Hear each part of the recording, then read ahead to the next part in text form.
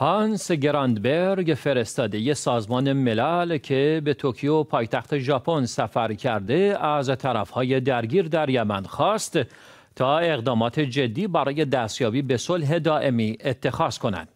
وی تصریح کرد که انسجام های جامعه جهانی و وحدت اهداف درباره یمن از عوامل محوری در این زمینه هستند و زمان و شرایط کنونی در یمن نیز دشوار است. بنابر گزارش خبرگزاری اسپوتنیک گراندرورگ همچنین بر نیاز به تداوم و تقویت یاری بین المللی برای دستیابی به حل و فصل سیاسی پایدار و دستیابی به صلح دائمی در یمن تاکید کرد. فرستاده سازمان ملل در یمن همچنین در دیدار با کی تاکاجی معاون وزیر خارجه ژاپن و مسئولان ارشد دولت این کشور تلاش های مربوط به حمایت از طرف های درگیر در یمن برای دستیابی به توافق آتش بس و از سرگیری روند سیاسی فراگیر و جامع تحت نظارت سازمان ملل را بررسی کرد.